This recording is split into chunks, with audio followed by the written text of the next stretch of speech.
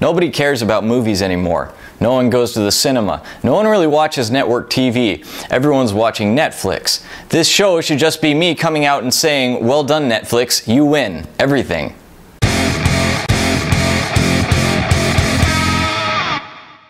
Ricky Gervais' speech at the Golden Globes a couple days ago was not only an epic takedown of Hollywood and the TV industry, but also it was really great marketing. Um, and it's something that I think we're going to see a lot more of in 2020 and the new decade. And I wanted to make this video to explain why that is. Now, if you didn't see the speech, I'll read off a few of my favorite lines for you. This is the last time I'm hosting these awards. I don't care anymore. I'm joking, I never did. NBC clearly don't care either. Kevin Hart was fired from the Oscars because of some offensive tweets. Lucky for me, the Hollywood foreign press can barely speak English and they've no idea what Twitter is. I got offered this gig by fax. Spoiler alert, season 2 is on the way, so in the end, he obviously didn't kill himself. Just like Jeffrey Epstein. Apple roared into the TV game with The Morning Show, a super drama about the importance of dignity and doing the right thing, made by a company that runs sweatshops in China. You say you're woke, but the companies you work for, it's unbelievable. Apple, Amazon, Disney. If ISIS started a streaming service, you'd call your agent.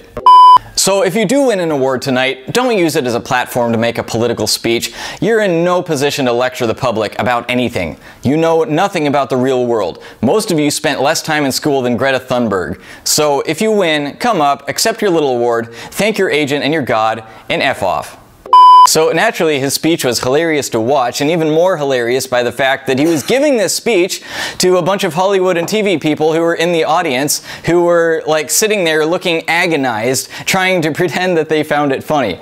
But entertainment value aside, I wanted to comment on why I found this so compelling from a marketing perspective.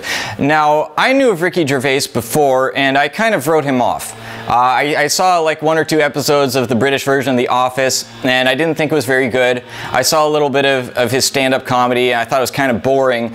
But now, despite having written him off in the past, well, now he's definitely got my attention. And I think a lot of people probably feel the same way. So as an entertainer, uh, railing against his own industry, it might seem like something risky to do, but uh, I think it'll work out for him in the long run. And there's three reasons, three particular parts of his speech that, I think made for such compelling content. Number one is that he's taking shots at an institution that used to be powerful but now is basically old and dying. But they're not so far along yet that everybody is taking shots at them. He's one of the early adopters, so to speak. He's recognizing this trend in the future and he's getting on early. And I think he's entirely correct when he says that Netflix is completely destroying uh, regular TV and Hollywood. And YouTube is too, actually. Netflix is kind of taking the pure entertainment side, and YouTube is taking the kind of valuetainment, so-called. Uh, people who actually want to learn are, are going to YouTube. And almost nobody is going to traditional TV or movies anymore. So basically, he's positioning himself in the future by going where the future trends dictate, and he's making a big name for himself and a scandal which gets a lot of media attention in the present. So instead of people seeing Ricky Gervais and associating him with that old and dying Hollywood institution, well, now they're going to associate him with the opposite. He is the the death bringer of the, or death declarer at least, of the, the old institution, uh, and is going to be associated with the new one. So the lesson to be learned from that is that if you were trying to market something, if you were trying to position yourself as a brand, well, don't position yourself alongside an institution that is on the downtrend. Put yourself alongside something that is on the uptrend, something that is, that is going to be bigger in the future. And if you can make yourself kind of look like a courageous revolutionary in the process, and even better. Okay, number two is that he's identifying himself with the common man and calling out a lot of behavior from elite institutions that normal people hate. In particular, the annoying virtue signaling by companies and by actors when he calls out Apple uh, for telling other people how to live their lives while they're, they're you know, installing nets on their factories in China to catch the people that are trying to commit suicide because their working conditions are so bad. That's real, look it up. And then all the actors that come to the award show in their private jets to lecture people about saving the environment. Most of us find that kind of behavior really annoying and really hypocritical. By the way, if you're enjoying this video, could you please do me a little favor, hit the thumbs up button because it makes the YouTube algorithm like me better. And then if you want more like this in the future, if you want to learn how to be free and successful in your life, then hit the subscribe button and hit the little bell icon beside the subscribe button so you'll get notified whenever I have a new video that comes out. And we, the normal people, are the consumers of Hollywood content and of movies and of Netflix and of all this stuff. So uh, by alienating us, by, by pretending to be high and mighty, uh, these people who pretend to be other people for a living are shooting their own income source in the foot. And so Ricky Gervais did a great job in, in taking advantage of this golden opportunity to point out the hypocrisy of these people and point out how annoying they are to normal people. So, so Ricky Gervais in this, in this instance has kind of framed himself as the champion of the common man because he realizes that none of us care uh, what some TV actors try to lecture us to about politics or about the environment. And of course, it's the same thing with companies. I mean, you don't want to buy an iPhone to be lectured by some corporate diversity officer or something like that about how we should live our lives. Everybody sees through that. Everybody sees how empty that is, how hypocritical that is, how ridiculous it would be uh, for us to get moral guidance from a company that makes cell phones. I think that this trend of corporations positioning themselves as moral authorities, which obviously they never have any moral courage at all, right? They're just aligning themselves always with whatever the, the popular belief happens to be at the time. Uh, I think this trend is going to die because people are starting to see through it. People are starting to find it annoying and hypocritical. And with all these all these new channels that are more decentralized, there are a lot of people. Uh, not just the occasional Ricky Gervais, that are going to call out this behavior and they're going to ridicule this behavior and it's going to hurt the company's public relations instead of helping it like it might have done in the past. But anyway, there's a huge part of the population that is extremely annoyed by the constant virtue signaling. So if you can call that out when you see it, well, that's going to gain you the sympathy of a lot of people. Okay, now the third thing that I pulled out of this speech that I thought was great marketing was that he used what's basically an anti-establishment internet meme in one of his lines, and that was that Jeffrey Epstein didn't kill himself. Now, if you're not familiar with the story of Jeffrey Epstein, let me give you the really short version.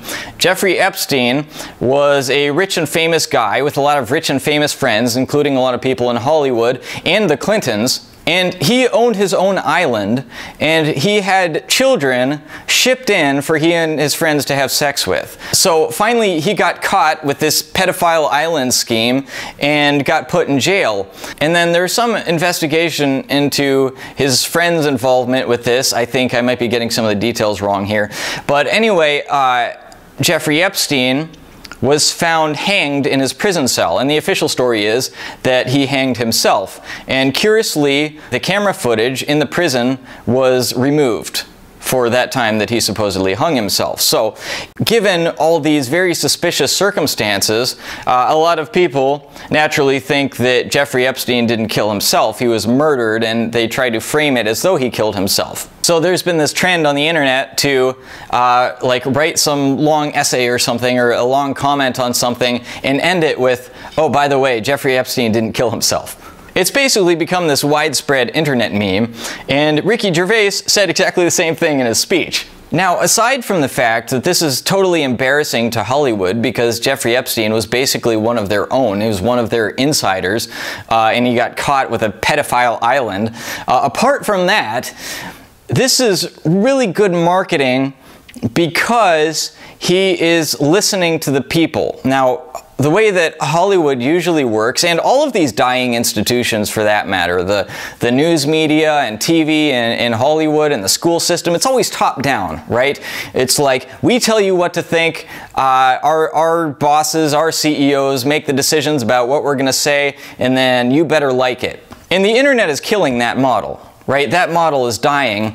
And the people that are successful marketers in the new millennium are the people who, who listen to what people are interested in and then talk about that. So that's exactly what Ricky Gervais is doing. He's not, he's not trying to invent his own meme. He's not trying to force some virtue signaling on everybody like the companies are doing and like the other actors are doing. What he's doing is taking something that people are already interested in and talking about that. So I really think that this is the way of the future, and you're going to see a lot more of this in the future. So if you want to be effective in your marketing, there's three lessons to be learned from that. One is to take shots at dying institutions, but you know, don't be late to the game, right? Don't don't be the last person to take shots at the dying institutions after everybody already is, right?